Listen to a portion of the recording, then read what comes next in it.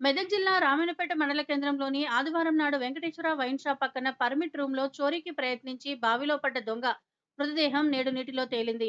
గత శనివారం రాత్రి షమ్నాపూర్ తాండాకు చెందిన బాబియా అనే యువకుడితో పాటు మరో వ్యక్తి చోరీ కోసం వచ్చి పర్మిట్లో తాళాలు పగలగొట్టి సుమారు ఎనిమిది వేల రూపాయలు ఎత్తుకెళ్ళి తిరిగి ఇంటికి వెళ్ళే క్రమంలో పక్కకు వ్యవసాయ భూమి ఉండడంతో చూడకుండా దూకడంతో బాబియా అనే వ్యక్తి అందులో పడిపోయినట్లు మరొక తోటి దొంగ ఉదయం పోలీస్ స్టేషన్కి వెళ్ళి సమాచారం అందించాడు.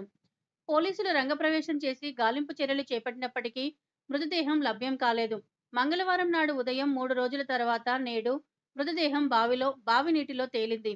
మృతదేహాన్ని వెలికి తీసేందుకు పోలీసులు గజ ఈతగాల సహాయంతో మృతదేహాన్ని వెలికితీసి కేసు నమోదు చేసి రామన్నపేట ప్రభుత్వ ఆసుపత్రికి తరలించి విచారణ చేపట్టిన రామన్నపేట పోలీసులు.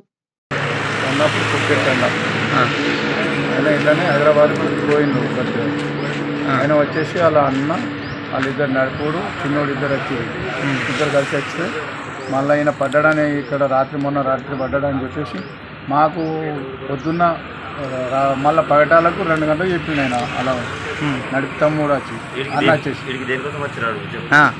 ఇక్కడ దొంగతనం గురించి వచ్చిరంట.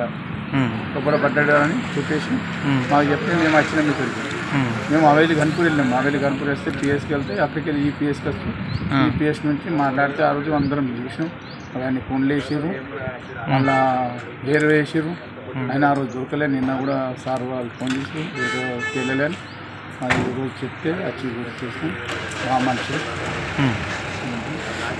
ఏం పని చేస్తాడు ఈయన? వ్యవసాయం చేసుకుంటుండే. వ్యవసాయం చేసుకుంటుండే ఇట్లనే హైదరాబాద్కి పోలీసులం అయినాం ఈ మధ్యలో ఇద్దరు అన్నదమ్ములు దొంగతనంగా వచ్చినామని చెప్పేసి.